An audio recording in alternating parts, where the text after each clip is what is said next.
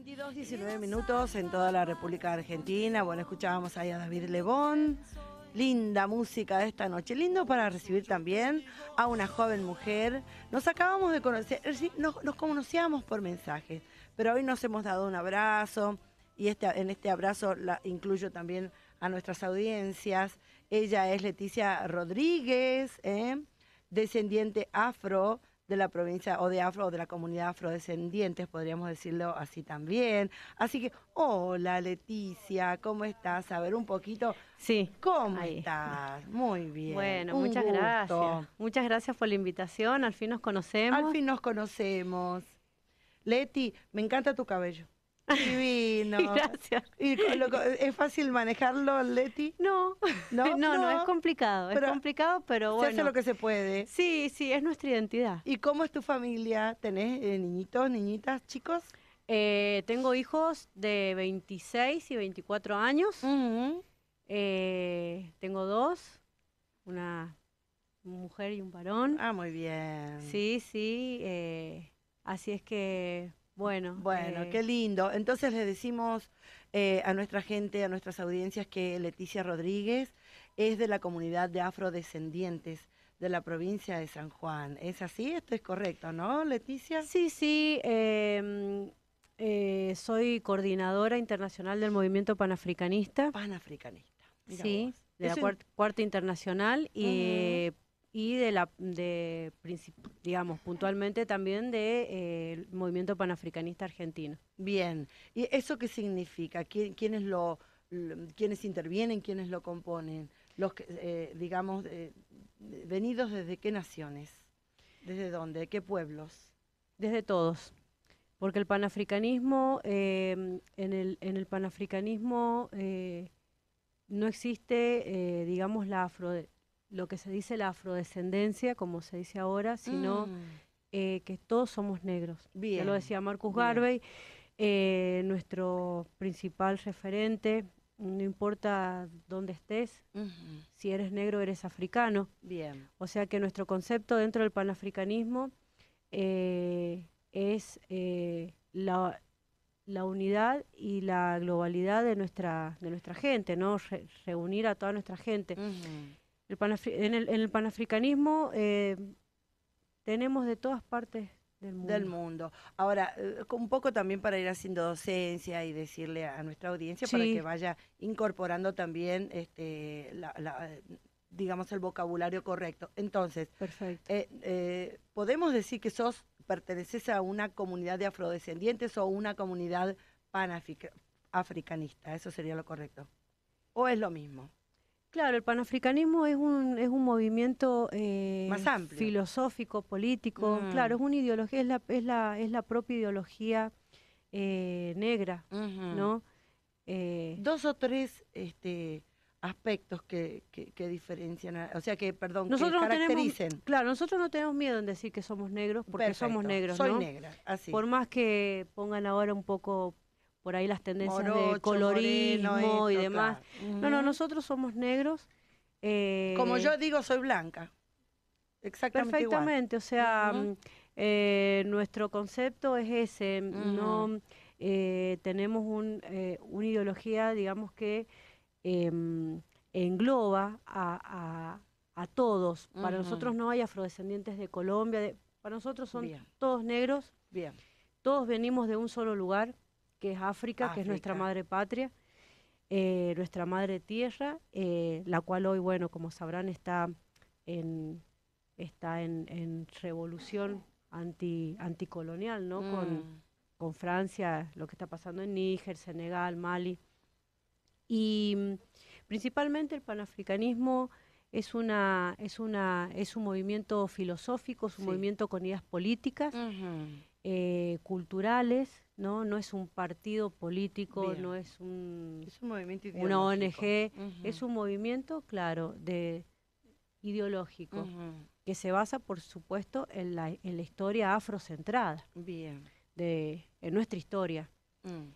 Y que dista mucho de lo, de lo que escribe el eurocentrismo, ¿no? Sabemos que nuestra historia, al, igual que alguna comparación con la de los pueblos indígenas, siempre la han escrito los o sea, el eurocentrismo, el, blanco. Nuestra historia es afrocentrada. Eh, tenemos nuestros propios referentes, nuestros escritores. Eh, bueno, justamente podríamos centrarnos en la faz cultural, para no meternos en lo político, porque ustedes hemos hablado tanto de política estos días. Eh, entonces, desde lo cultural, de la faz cultural, ¿cuáles son las características? ¿Qué los definen a ustedes desde lo cultural? Y desde lo cultural es, es, eh, es, digamos, la cultura general de nuestro, de nuestro pueblo. No hay una diferencia, eh, Por digamos, si vos me decís candombe, vos a lo mejor referencias el candombe con Uruguay, ¿no? Pero, pero ¿de dónde vino el candombe? ¿De quiénes? Entonces, eh, nosotros vamos a la raíz, nosotros vamos a las bases, no olvidamos la, la Claro, porque es, es la forma de entender las luchas de hoy mm. y es la forma de, de continuar en esto. Al, al, igual, o sea, igualmente nosotros con la política de acá no tenemos nada que ver. No, nada que ver, no. Nada que ver porque la política partidaria, por, en realidad. Claro, en realidad es el partidismo, no es la política, porque nuestra vida se rige de política. Esto que estamos haciendo es en cierta manera claro, política, no, por supuesto. Eh, pero digamos nuestro no tenemos nada que ver, digamos, con el partidismo de acá. Eh, nosotros no pertenecemos a ningún partido político en cuanto a la Argentina, por ejemplo, de turno ni de no. Nadie. Nosotros tenemos no compromiso con nadie. No, no, nosotros tenemos nuestra nuestra propia ideología que no es eh, principalmente la que se, la que manejan los afrodescendientes o africanos descendientes que están dentro del Estado. ¿Y quién fue para ustedes, por ejemplo, Mandela? Y Mandela es un referente muy importante eh, en cuanto a la lucha negra. Em, fue, fue un hombre que, no, que, que tuvo su, su protagonismo, o sea, su, su parte importante, obviamente, en, el, en la lucha negra, en la lucha de los derechos humanos también. Sí, sí. Pero nuestro referente en este caso, eh, si vos me decís Mandela, yo te digo Winnie Mandela. Ah, bien. Winnie Mandela fue una mujer, eh, fue una mujer que dejó, que luchó, ahora tanto que, nombran esa palabra, luchó contra el patriarcado. una adelantada para su época. Una adelantada, luchó contra, contra el apartheid, sufrió quizás lo que... Mm, lo que no sufrió porque si bien Nelson Mandela estuvo muchos años preso, eh, casi 27, 30 años, Winnie Mandela estuvo presa, pero fue torturada. por, su condición de ser mujer, seguramente. Y es que las ideas políticas de Winnie Mandela y Nelson Mandela, a pesar de, que en ese momento era el matrimonio, no eran iguales. Eh, porque Winnie Mandela, eh, Winnie Mandela es nuestro referente. Eh, su nombre es Winnie Mandela. Mandela. Y, y, ella se, digamos, la...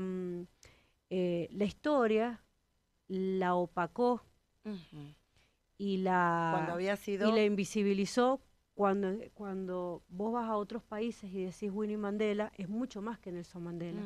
Porque Winnie Mandela luchó contra todo eso que Nelson Mandela aceptaba del, de la, del, del colonialismo en ese momento, ¿no? No nos olvidemos que estaba, estaba eh, estaban los Boers, los famosos Boer, que eran los, que eran los holandeses, se les llamaba Boer.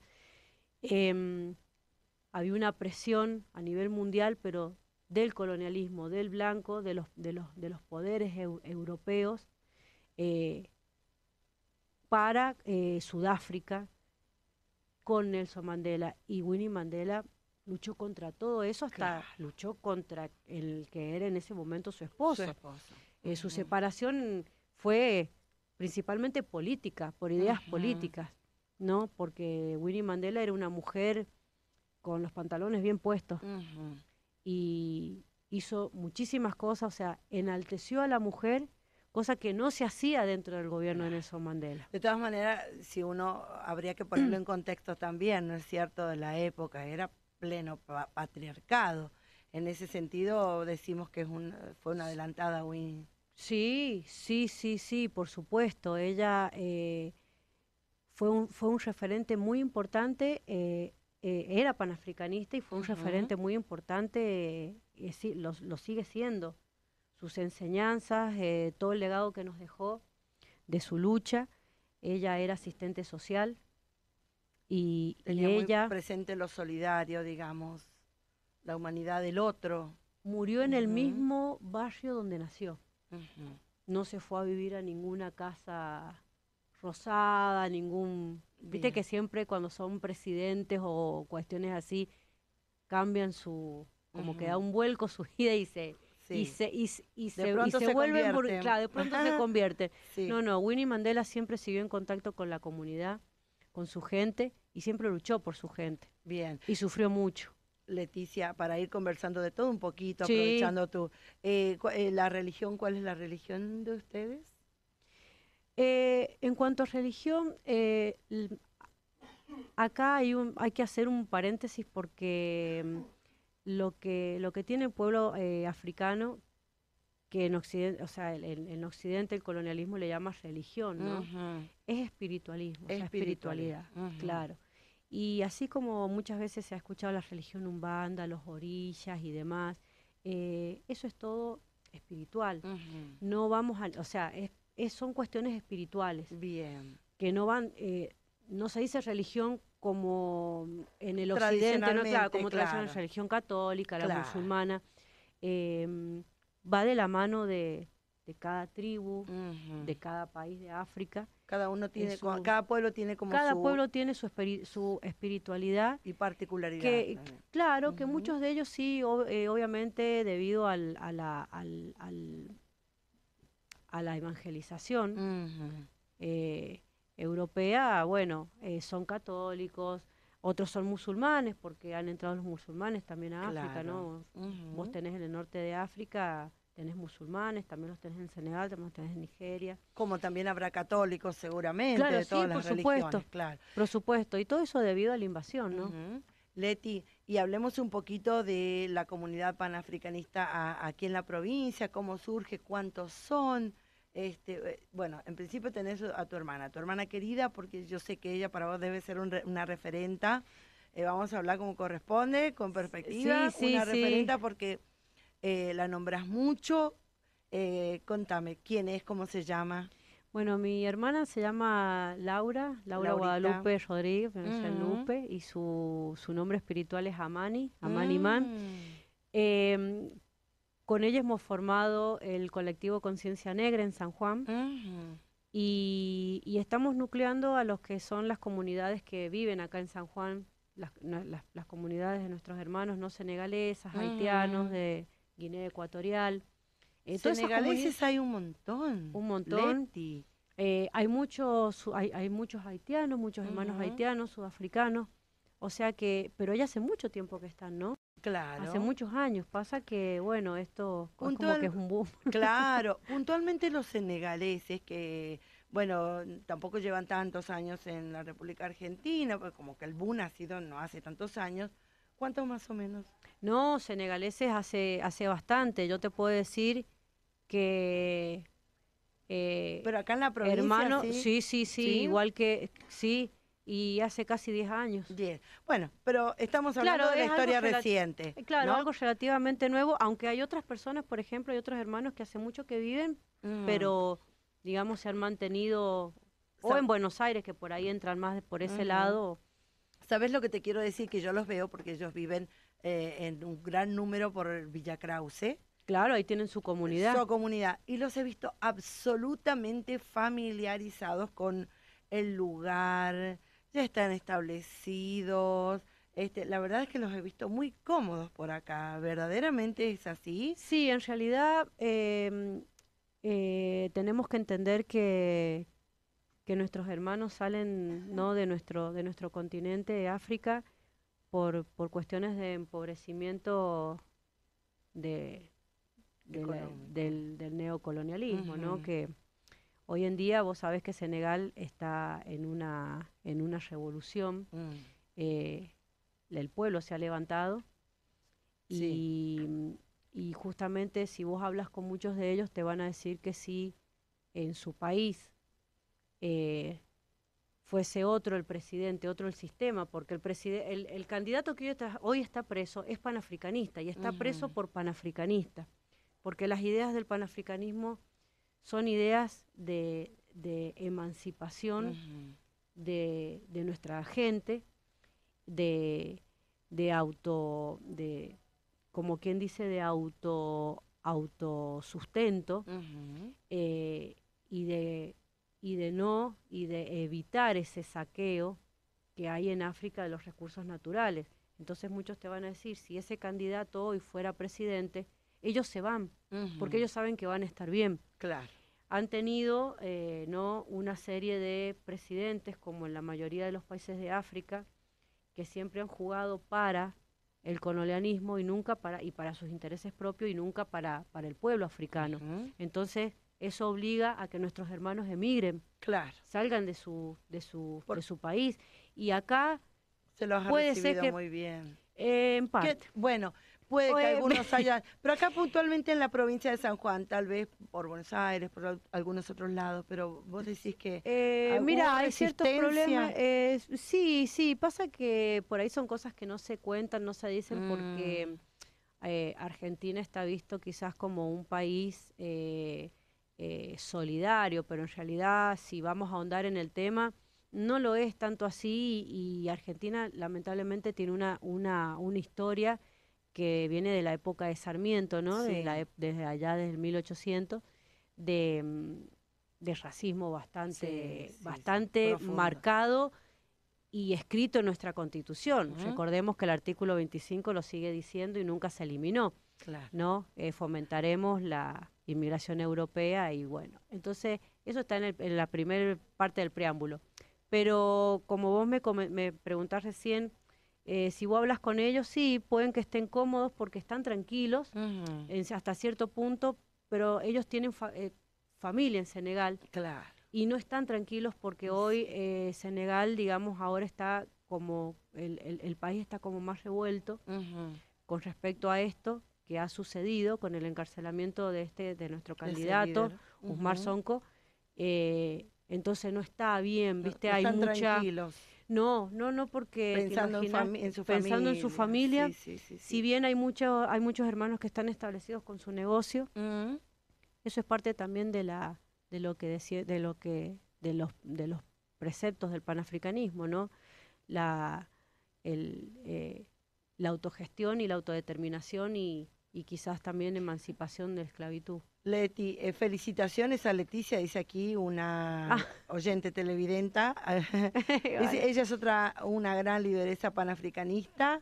Hay que entender que los negros son sujetos políticos, no solo culturales y filosóficos. Dice, eh, también sugiere aquí en el canal Uru, Ujuru África, Ujuru África, TV, puede verse el encuentro de mujeres que se va a llevar adelante y que lo estábamos recién. Sí, se llevó a cabo el domingo el encuentro de mujeres panafricanistas por la, por la, eh, la, liberación de, Níger. Y eh, de, fíjate que para, para los que están viendo eh, por televisión digital abierta, estamos pasando este un flyer muy bonito. Fue el domingo, sí, sí, fue el domingo de dentro del marco de la Universidad Malcolm Garvey University, que es nuestra universidad, ¿no? Eh, establecida en España, donde está nuestro nuestro director general, Abuyun Fubea, de Guinea Ecuatorial, a quien le mando un gran saludo. Eh, él es el mentor de todo esto. Y mm, porque están viendo a través de nuestra página www. Sí, sí, sí. Bueno, allá son las 3 de la mañana, así que espero que espero que lo puedan ver, pues son las 3 de la mañana. A toda la comunidad eh, panafricanista a toda la comunidad, a todas nuestras hermanas que Muy bien. Eh, como mujeres eh, más allá de nuestras de nuestras posturas, ¿no? Em, mm. de nuestras de nuestras ideología panafricanista em, eh, como mujeres sabemos que necesitamos y debemos tener un espacio. Somos protagonistas también, también. en esta lucha, de, en, esta, en esta, por decirlo así, nueva revolución, pero que no es nueva, pero que hoy eh, se lleva a cabo eh, por parte del pueblo y que, y que el pueblo está apoyando esta, esta revolución y está apoyando a los militares que quieren también una, una libertad para Níger y, con ideas panafricanistas. ¿no? Bien. Leti, ¿sos eh, qué, mm, qué, digamos, eh, qué, generación de descendientes? Eh, sería mm, quizás la tercera generación. Más o menos. Más o menos, sí, sí, sí. Bien, ¿y tenés padres, abuelos? Están, claro, sí, sí, sí, están en, viven en Uruguay. Viven en Uruguay. Em, eh, mi, mi, padre era uruguayo. ¿Y vos hace cuánto que estás en la provincia? No, yo nací acá. Naciste acá. Yo nací acá. Sos sanjuanina. Eh, mi bisabuela eh, eran esclavos entrados por Brasil. Bueno, Leti, vos sabés que hay tanto para hablar. Yo quisiera que esta no sea la última vez que vengas, sino que es la primera. Eh, te queríamos conocer. Leticia Rodríguez, eh, de la comunidad panafricanista de la provincia de San Juan. ¿Y sabes que nos vamos a ir? ¿Cómo se llamaba tu hermana? Recordame el nombre de ella. Laura, Laura, quien estuvo, tuvo una presencia muy importante en el Congreso de Mujeres que se hizo eh, eh, hace dos fines de semana atrás, no recuerdo bien la fecha, eh, donde bueno, ella tuvo una intervención muy importante, ella es del movimiento también de mujeres panafricanistas. Em, y dentro de nuestro movimiento está el de movimiento de mujeres panafricanistas, que es con las cuales hicimos el, el encuentro el domingo. Y, y bueno, em, tuvo una intervención muy importante porque su discurso fue muy esclarecedor y muy, y muy puntual con respecto a esto, a, a lo que hablábamos recién, ¿no? con respecto a la, a la liberación, a la, a la emancipación de la esclavitud mental, porque no solamente está la esclavitud física, sino está la esclavitud mental que muchas veces cuesta, cuesta en, en nuestra comunidad, en nuestra gente, eh, para poder iniciar la lucha o para a las mismas mujeres, ¿no? Son muchos años de, muchos años de, esclavitud, muchos años de sufrimiento, de opresión, de opresión eh, por parte de, de, muchos lados, de muchas situaciones. Entonces eh, fue bastante mm, conmovedor.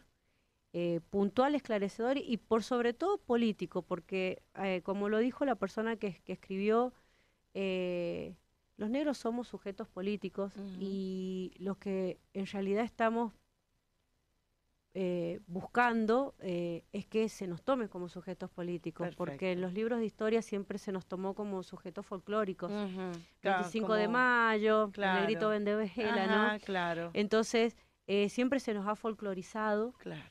Y, y esto que está pasando hoy en, en nuestro continente, África, eh, por ahí asusta al que no conoce o al que no sabe que realmente los negros venimos de una lucha desde hace más de 500 años, que siempre hemos sido sujetos políticos.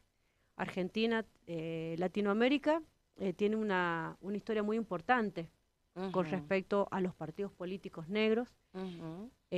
hasta Cuba también la tiene. y que han sido panafricanistas y recordemos también que la primera revolución eh, que se hizo emancipación de Haití fue panafricanista, fue la primera revolución panafricanista, la revolución de Haití. Mira vos. bueno, Leti, ay, tanto para hablar, pero ¿sabes qué? Vamos a terminar eh, enviándole un, saludo a tu hermana. Sí, un beso grande, un beso La esperamos, ya vamos a planificarlo para el próximo mes. Bien, bien, bien. Así vienen las dos. Eh, pero nos vamos a ir con parte del discurso de ella en el Congreso. Sí, por supuesto. Y gracias por venir, por haberte tomado el trabajo de venir esta noche, porque bueno, eh, salir en la noche, dejar la familia, todo eso sabemos que es difícil, pero la verdad que un gusto de conocerte. Y este eh, no será la última, sino que esta es la primera. ¿eh? Bueno, muchas gracias. Muchas gracias, a vos. Muchas gracias Leticia Rodríguez. Y aprovecho de saludar para mi compañera porque la comunidad de personas eh, sordas también está aprendiendo, aprendiendo de la comunidad panafricanista, ¿no? A través de nuestra traductora de lengua de señas, Analia Vera. Y también está Javi Díaz, al que no he saludado. Hola Javi, ¿cómo estás? y está buscando ahí el videíto. Un saludo para, para todos, para todos los que están viendo, escuchando. Gracias a, todos ustedes por, por siempre estar atentos. Bueno, ¿esta es tu casa? Muchísimas gracias. Y nos vemos pronto. ¿eh? Muchas gracias. Leticia Rodríguez con nosotros, de la comunidad afro, comunidad panafricanista de la provincia de San Juan. Nos despedimos con este fragmento de, un discurso muy valeroso de otra de sus integrantes. Gracias. Hasta pronto. Gracias. bueno, hola. Esperen, tengo acá el discurso de la tercera, de que me alcancen los dos minutos. Bueno, mi nombre de pila es Laura Guadalupe Rodríguez, mi nombre espiritual es Amani Imán. Soy hacedora cultural, represento a Conciencia Negra San Juan, colectivo afrocentrado que hemos creado con mi hermana Leticia Rodríguez y ella es coordinadora del movimiento panafricanista en Argentina y yo soy miembro del movimiento de mujeres panafricanistas. Conciencia Negra nació el presente año y tenemos la fortuna de haber dado inicio a nuestras actividades con ayuda de la Universidad Nacional de San Juan, gracias a la profesora Silvia Ferreira, que nos habilitó el espacio y entrega su disposición a la visibilidad del movimiento y población afrodescendiente y africana. Iniciamos con un foro donde participaron hermanas y hermanes del colectivo eh, afro y LGBTQI+, también estamos realizando trabajos de campo para conectar con las comunidades migrantes afro que habitan el territorio de San Juan, como lo son la senegalesa, haitiana, de Guinea Ecuatorial, nigerianos, y con algunos académicos y académicas que han realizado investigaciones sobre la población y la historia afro en San Juan, que eh, gracias a ellos estamos eh, pudiendo tener acceso a los archivos históricos de la provincia. También en articulación con la Universidad Nacional de San Juan y el Ministerio de Educación, estamos gestando acciones y propuestas de educación, arte y cultura que cuentan con participación federal para visibilizar la labor de la comunidad afrodescendiente y africana. Es importante, como ya mencionaron previamente, reforzar la unidad de la comunidad afro para que dejen de suceder hechos que más, que lamentables son repudiables. Hoy me gustaría dar visibilidad y luz a situaciones de destrato y abuso que se repiten sistemáticamente dentro y entre los colectivos en los diferentes eventos afrocentrados, donde lamentablemente siguen precarizando y violentando nuestros cuerpos, nuestras cuerpas negras de diferentes formas. Puntualmente hablaré de mi experiencia y perspectiva. Que se entienda que esto que voy a comentar no desvaloriza ni descalifica la lucha y la acción que vienen realizando, sino es un llamado de conciencia.